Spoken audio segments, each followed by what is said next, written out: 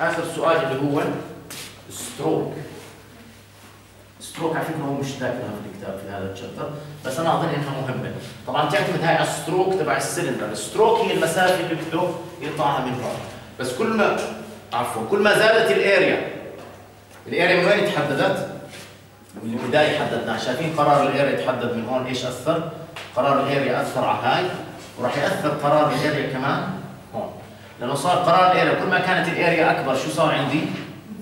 صار بدي flow أعلى حتى أحقق السرعة المطلوبة.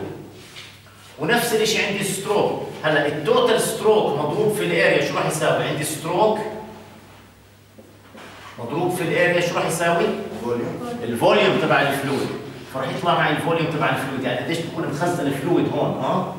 بكون مخزن عندي fluid من هون أسحب منه.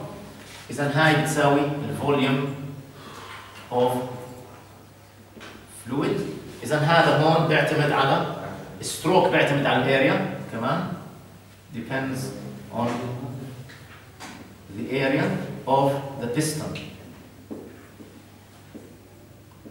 وهون decides total volume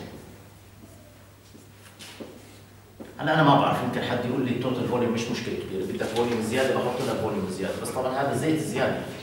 بحط زيت زيادة في ال system. بدل ما أحط 3 لتر بدي أضطر أحط 5 لتر أو 7 لتر.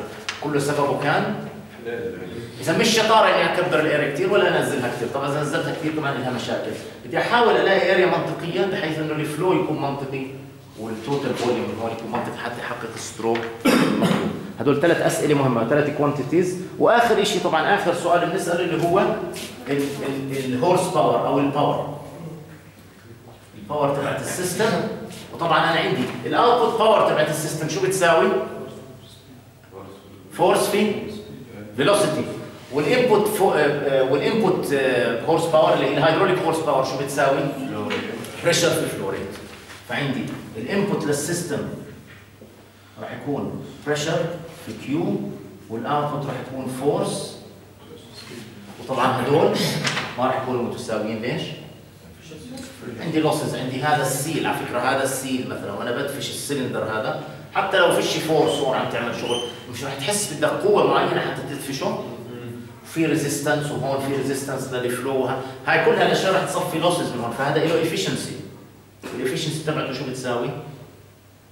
FV على PQ هذا تصير ال efficiency تبعت هذا ال هذا السلندر